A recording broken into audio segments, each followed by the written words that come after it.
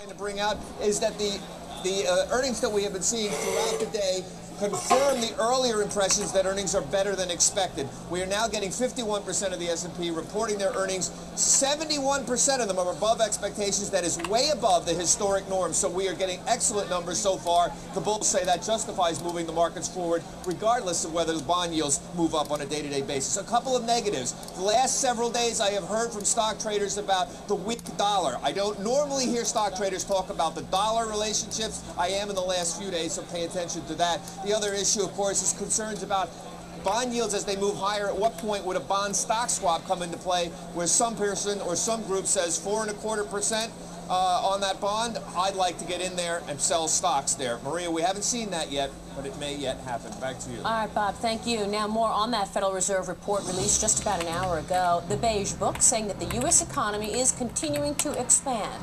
But watch out for pricing pressure caused by higher energy prices. That's the main message out of the Federal Reserve's Beige Book, released, as I mentioned, just a little while ago. Senior economics reporter Steve Liesman now looking at the report and has the latest. Steve. Maria, thanks very much. You know, it's curious. The Beige Book, just about as curious as the U.S. economy. On the one hand, the collect...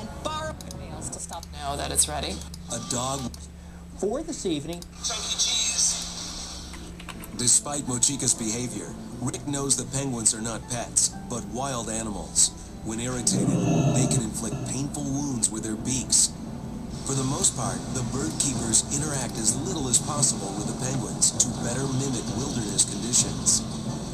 The exception to this practice is nesting season. Just like Brown left and Crash, penguins generally pair up at an early age and remain monogamous for life. Twice a year in the spring and fall, they reproduce. At that time, each of the Penguinarium's 13 mating pairs receives a nest box where they will mate